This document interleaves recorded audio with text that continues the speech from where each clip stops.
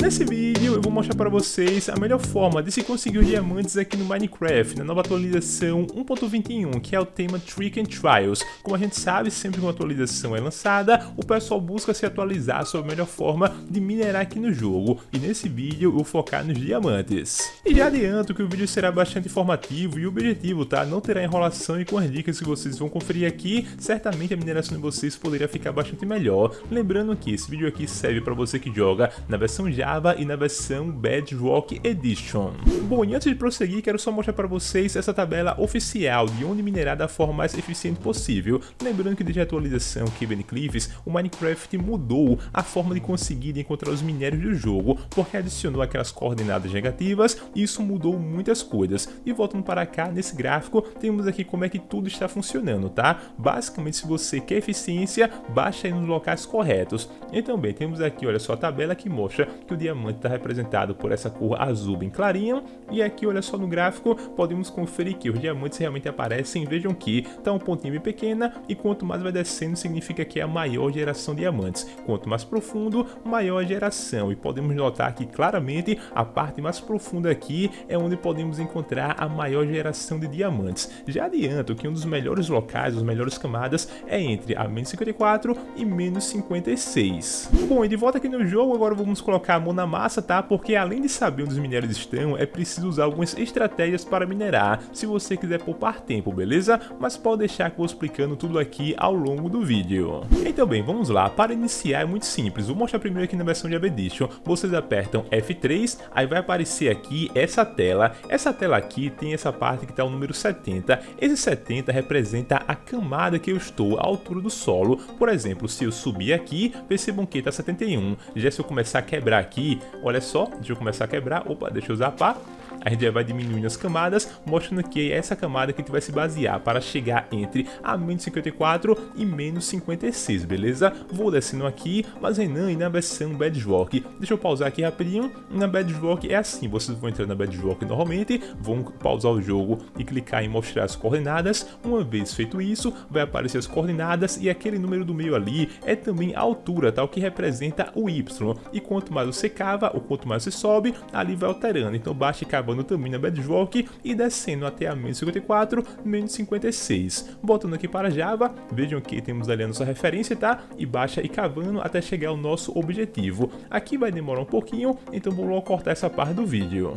E prontinho pessoal, tô chegando aqui na camada menos 52, menos 53 e olha só que interessante, já aqui na menos 53, deixa eu tirar agora, apertar F3 para tirar a tela, já apareceu os diamantes, mas como eu disse para vocês e como a gente viu naquele gráfico, quanto mais a gente descer, maior é a chance de encontrar os diamantes, então vamos continuar descendo, olha só, tem mais aqui, já deixa eu quebrar logo essa parte, vamos seguir quebrando, aqui já tem um baita agregado diamante, e podemos chegar até aquelas camadas. E olha só, já acabou o diamante aqui, cara, a altura é bem longa, mas bem, deixa eu conferir aqui normalmente, menos 56, ou seja, essa parte aqui, daqui para cima, já são ótimas áreas para a gente conseguir o diamante, mas Renan, você tem certeza disso? E sim, pessoal, para mostrar, olha só, vou aqui pausar o jogo, eu vou habilitar uma textura X-Ray que revela o que tem aqui no subsolo, antes deixa eu só jogar poção de noturna, e vamos conferir como é que funciona a distribuição de minério diamante. Vou pausar, clicar em pacote de recursos e vou ativar aqui a textura X-Ray.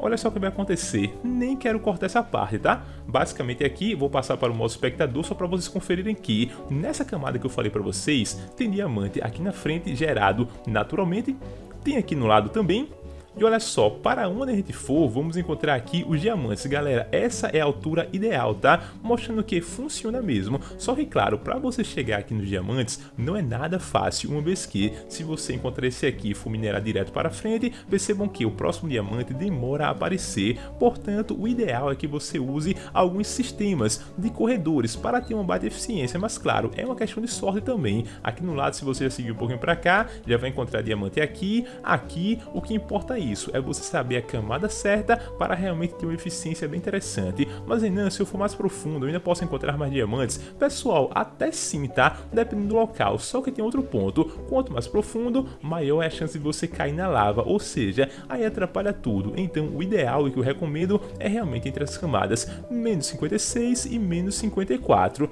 Mas bem, vamos voltar para o nosso foco. Ah, e aproveitando aqui o vídeo, se você tem interesse em jogar com a textura X-Ray também, eu vou deixar o link desse vídeo na descrição. Esse aqui é para Bedrock, mas eu vou deixar o link também da Java Edition, beleza? E vamos prosseguir. E bem pessoal, já voltei aqui para o local que a gente desceu, tá legal? Então vamos focar aqui novamente na exploração, ou melhor, na mineração. Então para isso, deixa eu mudar o ângulo aqui, tá? E vamos seguir alguma direção. Basicamente o primeiro passo é você fazer corredores. Você desceu nesse ponto aqui na camada que eu falei para vocês, aí você pode fazer corredores para várias direções. Então olha só, o ideal é que você sempre faça corredores por uma distância interessante. Mas como assim, Renan? Porque você não deve fazer apenas um caminho desse aqui e já desistir. Você faz um corredor longo para um lado e depois faz para o outro. Vamos seguir um pouquinho aqui e olha só, cara, já tem mais diamantes aqui, mostrando que realmente funciona mesmo, tá pessoal? Essa estratégia. Lembrando que além dos diamantes, você pode encontrar vários outros minérios no caminho.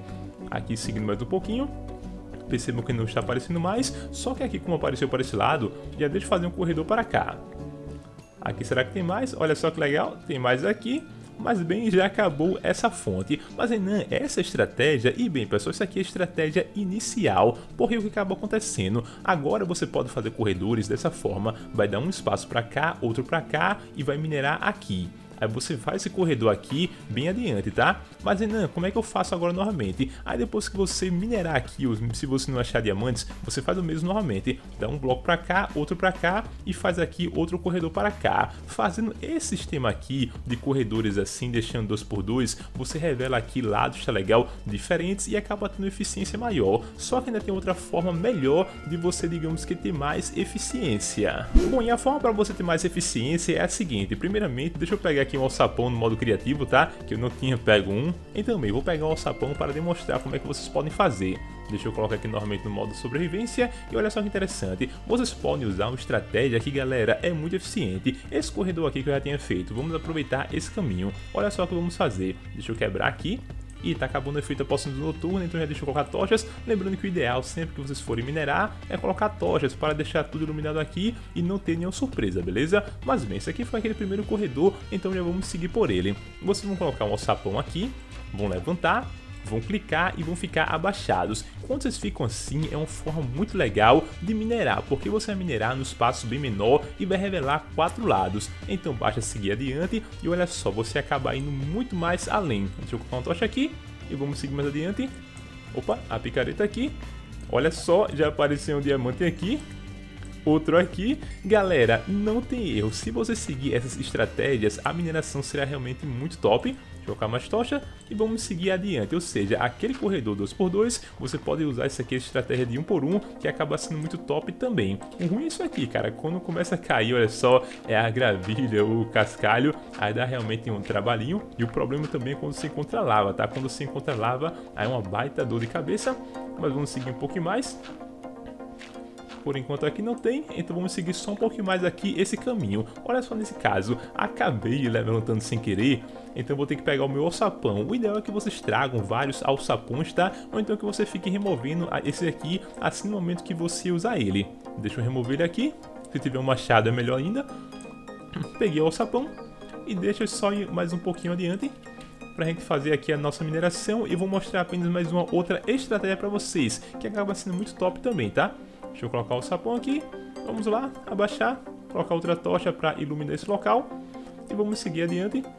Cara, muito bacana mesmo, mostrando que é uma estratégia muito top para você conseguir os diamantes. Infelizmente acabei não encontrando mais aqui, mas não tem problema algum. Agora deixa eu mostrar, opa, olha só, redstone chega a dar um brilho, cara. Mas bem, agora deixa eu mostrar aqui outra forma que vocês podem conseguir diamantes que não envolve tanta mineração assim. E bom pessoal, tô aqui viajando pelo modo espectador que eu quero achar uma caverna bem aberta, porque o que acontece? Olha só, aqui na frente já tem essa caverna, simplesmente nesse tipo de geração, que é uma caverna exposta, que também chegou após a atualização Kevin Cliffs, e você ainda encontra na atualização 1.21, é muito fácil você localizar minérios expostos, incluindo o diamante. Então já vejam que aqui, ao invés de você minerar toda essa área, ele já tem muita parte revelada e você pode encontrar os minérios assim. Opa, caramba, tá no modo criativo, não acredito. Deixa eu voltar para o modo sobrevivência. Mas bem, vamos conferir por aqui, olha só, já tem minério no teto. Aqui ele vai dar trabalho para pegar, tá? Mas não tem problema.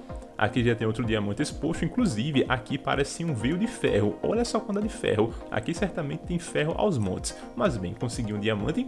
Lembrando que até o momento eu consegui 15 diamantes, tá? Mostrando que é uma mineração bem eficiente, uma vez que eu praticamente não demorei muito tempo aqui. Ali tem mais diamantes, mostrando que realmente funciona. Será que tem mais algum aqui na altura do solo? Vamos vir por aqui. Não quero cortar essa parte para mostrar para vocês o que a gente pode encontrar ou não. Por enquanto aqui eu tô vendo muito ferro, olha só, tem mais diamante ali. Deixa eu ver se tem por aqui. Por aqui não tem. Aqui, opa, olha só, aqui tem, cara, legal demais, né, boa? Eu fico empolgado de minerar assim, porque quando você segue essas dicas, por muito tempo eu minerei, eu minerei diamantes de forma errada, mas depois que eu passei a usar essas dicas, inclusive um tutorial que eu fiz aqui no canal, muitas pessoas curtiram porque eu já tinha informado essas dicas antes. Aqui tem mais diamante, Sempre que eu passo por uma caverna assim que é muito exposta, eu faço questão de explorar ela ao máximo. Tem outro aqui. Tem mais aqui. E só por efeito, prontinho, deixa eu pegar aqui. E só por efeito de formação, agora eu vou passar aqui no modo criativo e deixa eu só conferir esse aqui de cima, tá? Pra ver se tem mais. Aqui eu não vou pegar, só quero revelar. Deixa eu ver se tem mais aqui ao redor. Não, aqui tem muito ferro. Mas tem mais diamante aqui. E tem mais aqui, deixa eu ver se é um agregado. Rapidinho. E quebrei. Quebrei novamente. E tem mais diamante aqui, enfim pessoal, essas que são as dicas e funcionam para a versão Java e Bedrock Edition. Então bem pessoal, esse que foi o vídeo e eu espero que vocês tenham gostado. E agora escreva aqui no espaço de comentários, se você testar essas formas, escreve se deu certo com vocês, beleza? Então bem pessoal, se gostou do vídeo, deixa aquele like, se não é inscrito no canal, clique em inscrever-se e também ative o sininho para receber as nossas atualizações. Eu vou nessa, até o próximo vídeo, falou!